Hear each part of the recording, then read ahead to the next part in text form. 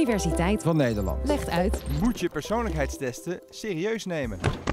Persoonlijkheidstesten die ken je misschien als een leuk spelletje om online te doen, maar ze worden ook serieus gebruikt. Door bedrijven bijvoorbeeld bij sollicitaties of om een team samen te stellen of op datingsites. Veel van deze testen werken met kleuren. Ben je rood, dan zou je bijvoorbeeld bazig zijn, dominant, een beetje autoritair. Ben je geel, dan word je gezien als inspirerend en maak je anderen enthousiast met jouw ideeën. Als je groen bent, dan zou je heel erg stabiel zijn.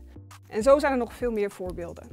Maar ik zeg je, deze persoonlijkheidstesten moet je niet serieus nemen. En ik ga je vertellen waarom. De meeste populaire persoonlijkheidstesten zijn niet wetenschappelijk. Ze zijn wat we pseudo-wetenschap noemen. Ze doen net alsof ze wetenschap zijn, maar dat is het niet. Goede wetenschap is transparant. Je kunt achterhalen hoe iemand een onderzoek heeft gedaan. Informatie bijvoorbeeld over hoeveel proefpersonen er hebben meegedaan en wie deze mensen waren. Ook kan je vinden hoe het onderzoek is opgebouwd, dus welke elementen het bevat. Daarnaast kun je bronnen vinden, resultaten uit voorgaand onderzoek. Mocht je willen weten of zo'n onderzoek klopt, dan heb je hier de gebruiksaanwijzing liggen. Maar van de meeste persoonlijkheidstesten weet je niet waar de resultaten vandaan komen. Die testen worden veelal aangeboden door bedrijven die niet graag de geheimen van hun product met de buitenwereld delen. Als je toch meer wilt weten, krijg je niet heel veel te horen. Eén ding wat je wel vaak hoort is dat de persoonlijkheidstesten zijn gebaseerd op de theorieën van Carl Jung.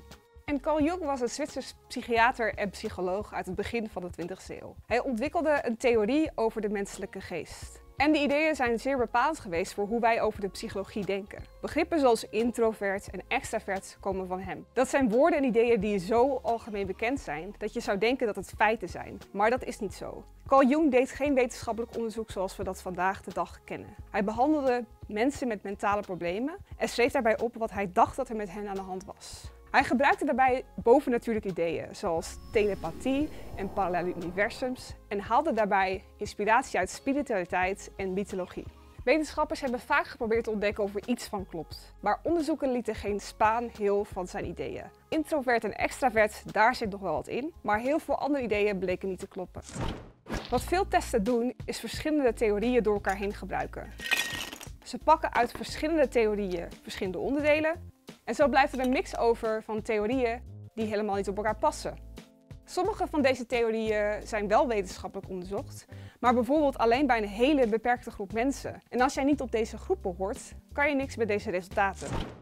Nu zou je kunnen denken, het is dan wel niet wetenschappelijk bewezen, maar voor mij klopt het wel. Ik ben inderdaad blauw, of een van die andere kleuren. Maar ook dan zegt de wetenschap nee om verschillende redenen. Bijvoorbeeld, populaire persoonlijkheidstesten geven eigenlijk alleen maar positieve resultaten. Het zijn net horoscopen. Voor ieder wat wils. Je bent eigenlijk altijd blij met het label dat je opgeplakt krijgt. Of een ander argument, met die testen kun je denken dat je persoonlijkheid een feit is dat niet kan veranderen. Terwijl je juist wel kan veranderen. En dan is het ook nog eens zo dat je volgens de ene test blauw bent en volgens de andere test groen. En als je dan weer de test een week later maakt, dat je dan opeens geel blijkt te zijn. Een ander probleem is dat deze testen een verkeerd beeld geven van verschillen tussen mensen. Testresultaten geven dan vaak dit beeld.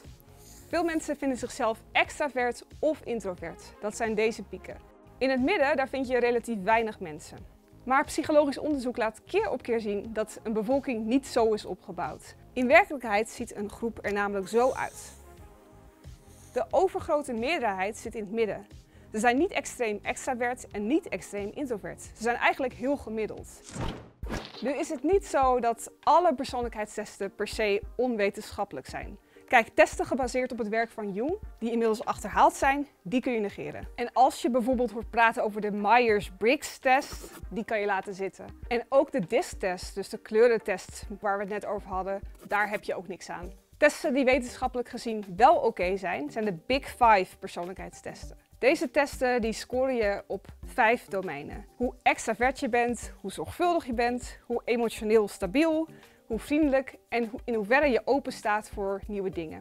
Dat zijn punten waar je wetenschappelijk gezien wel wat aan hebt om over jezelf te leren. Maar ook dan hoef je jezelf echt geen label op te plakken dat nooit meer kan veranderen.